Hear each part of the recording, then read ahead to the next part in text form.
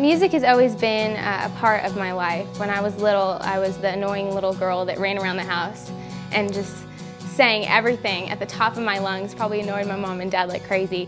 It was just something that, it was like my outlet. I was stirring my first cup of coffee before I noticed something strange. At the age of nine, I um, picked up the guitar and I wrote my first song. And I didn't really, I didn't know what it was. I just kind of, I wrote something down and I, with each chord I had a different line and it was terrible. If you heard it now, you would definitely realize that I was nine when I wrote that. But um, I don't know, just music is just something that has always been there for me. I have tons of uh, artists that I look up to and uh, each one is for a different reason, but I look up to, I look up to Carole King, um, Michelle Branch, Miranda Lambert, Keith Urban, Sheryl Crow, um, just a whole bunch of people. And uh, for you know entertainment reasons, um, songwriting reasons, the best moment of my life has been. Um, it was actually last year I performed at the Muhammad Ali Celebrity Fight Night, and uh, Reba McEntire was there, Kris Kristofferson, and I got to perform alongside um, these amazing, amazing musicians. and.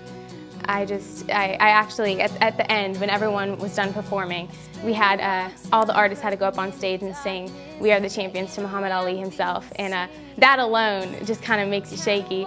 So I was walking up toward the stage and then Reba reached down and grabbed my hand, which she is just, she's another one of my idols. And uh, she reached down, grabbed my hand, pulled me up beside her, and we started singing. I don't even think I was singing. I was probably lip singing. I was so nervous and I was just so excited. That was probably the best moment of my musical journey.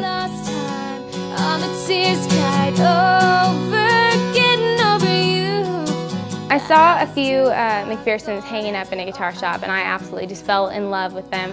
They're just so unique looking and I, I picked one up and I started playing it and just the sound is just so bright and just um, and just unique and I just started playing it and I fell in love with it and um, I actually I walked back into the same guitar shop and it was it was gone. The one that I absolutely loved was gone and uh, the guy told me, you know, yeah, family came in and, and they bought it for, for their son. He was graduating. And, and uh, so I was so bummed out. And uh, I actually, I went home and just, uh, um, I think it was just right before Christmas. And Christmas morning, I, I got something under the tree and it was that McPherson. So I don't think I'm going to go back to any other guitar.